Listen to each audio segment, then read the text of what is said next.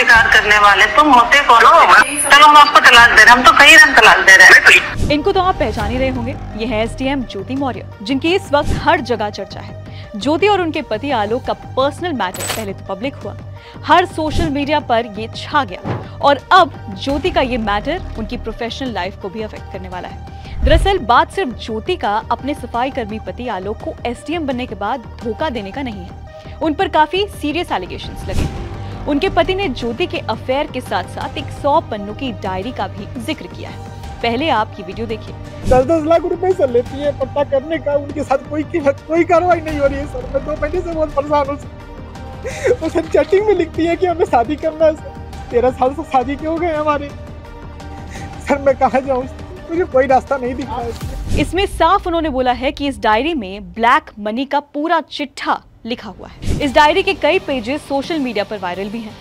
किस महीने कितना पैसा आया, उसके बारे में ब्रीफ में इन पेजेस में देखा जा सकता है। बात सीएम योगी तक भी पहुँच गई है और रिपोर्ट्स हैं कि ज्योति और उनके होम गार्ड कमांडेंट लवर के ऊपर इंक्वायरी होगी।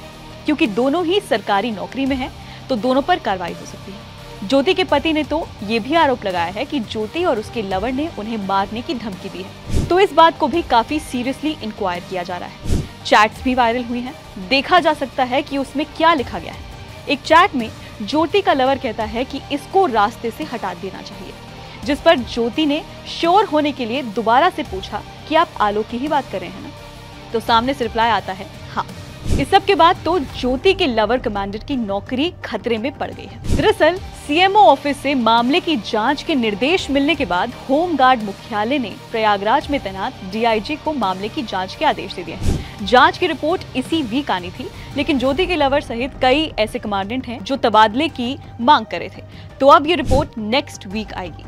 डीआईजी ने कहा है कि रिपोर्ट का इंतज़ार हो रहा है, जाँच रिपोर्ट के बाद ही आगे की कार्रवाई होगी।